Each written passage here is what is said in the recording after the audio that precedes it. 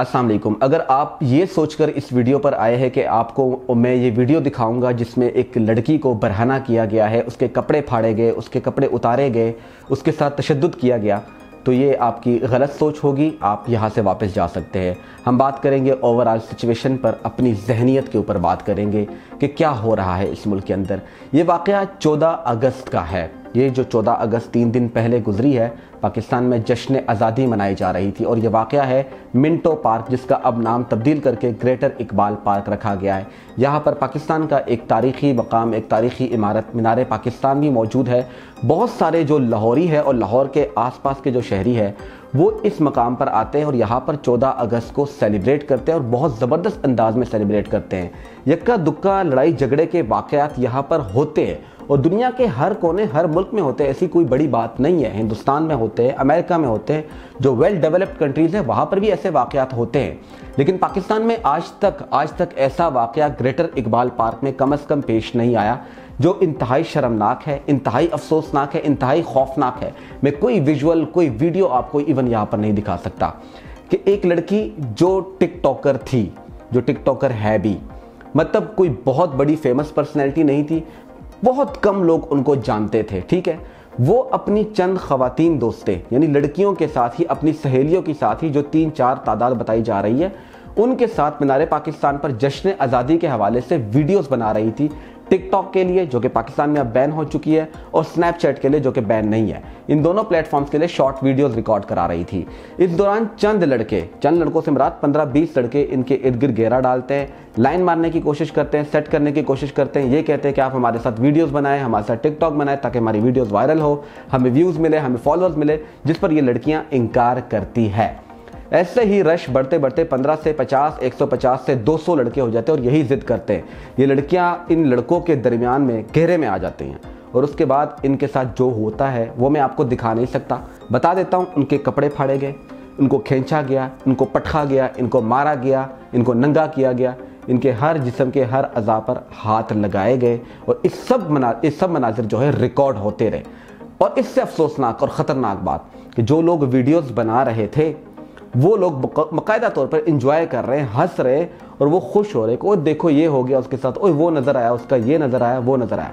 ये सब कुछ इस्लामी जमहूरी पाकिस्तान के शहर लाहौर में, मीनार पाकिस्तान के बिल्कुल साय में हो रहा था। कहीं और का वाक़ नहीं है। न ये यहूदी साजिश है, न ये इसराइल की साजिश है, न हिंदुस्तान की साजिश है, न ये रॉ की साजिश है। ये हमारे अपने प्यारे दोस्तों की साजिश है। कौन है इसके पीछे? कौन जिम्मेदार है इसका? अच्छा एक चीज़ मैं आपको बता दूँ। बार बार आपको यह नज़र आएगा, लड़की के कपड़े फाड़ दिए गए। अब आपने इस जुमले पे गौर करना है। मैं आपको बताता हूँ कि हम, ये जो तीन, चार सौ लड़के यहाँ पर मौजूद हैं, जिन पर मुकदमा दर्ज हो चुका है, और इनको वीडियोस के ज़रिए डिफरेंट जो वहाँ पर सीसीटीवी लगे हुए उसके ज़रिए पहचाना जा रहा है, इनको निकाला जाएगा इन सब लोग सामने आएँगे।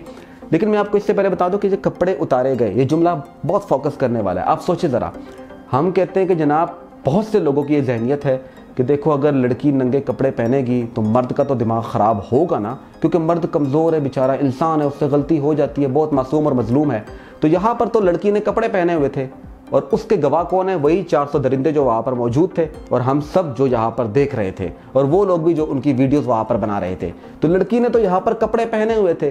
फिर मर्द को, मासूम को क्या हुआ ऐसा कि उसने वहाँ पर गिदड़ बनकर हमला कर दिया? ये 400 के 400 गिदड़ इनशाला गिरफ़्तार होंगे। इनके पीछे पुलिस पड़ी हुई है। इनको, इनकी हर तरह से इंक्वायरी हो रही है। हर हरबा इस्तेमाल करके, हर टेक्निक के ज़रिए इनको गिरफ़्तार किया जाएगा। सोच है हमारी हमारी अपनी ये अक्सी करती है कि योम आज़ादी को हमने कैसे बनाया। हमने अपनी योम आज़ादी को कैसे बनाया? इसके अलावा लातादार छोटे वाक़ात है। पू पा के जो गाड़ियों के आसपास आके सब कुछ करते वो तो अनगिनत थे जो मैंने अपनी आँखों से खुद ऑब्ज़र्व किया लेकिन ये अपनी नोयत का एक अलग अफसोसनाक, खतरनाक, शर्मनाक किस्सा वाक़ है। इससे नुकसान उस लड़की का तो हुआ है, बहुत ज़्यादा हुआ है। लेकिन इसके साथ साथ पाकिस्तान का भी नुकसान हुआ है। शायद आपको ये नुकसान नहीं होता कोई कि जनाब आपके अड्डे कोई कब्जे कर ले, आपकी ज़मीन पर कोई कब्जा कर ले, वो नुकसान तो नज़र आता है। लेकिन इससे आपका इमेज जो है मुतासर होता है। आपका नेगेटिव इमेज दुनिया के सामने आता है। मेरे नज़दीक ये औरतें मजलूम है, लेकिन मैं आपको बता दूँ गारंटेड बता रहा हूँ मैं आपको, आज से चंद घंटों बाद, इस वीडियो के चंद घंटों बाद, आपको नज़र आएगा कि बहुत सारे लोग आएँगे सोशल मीडिया के ऊपर यूट्यूब के ऊपर ही बनाएँगे मौलवी बनेंगे, फतवे जारी करेंगे कि उन लड़कियों को ज़रूरत क्या थी कि वो वहाँ पर जाए। उन लड़कियों को ज़रूरत क्या थी कि वो रश वाली जगह पर जाए। मतलब इस मुल्क के अंदर लड़कियों के ऊपर कानून बनना चाहिए कि वो रश वाली जगह पर बिल्कुल भी ना जाए। जाए तो पाँच छः भुरके पहन कर जाए, नहीं तो आपकी बख्शिश नहीं होगी।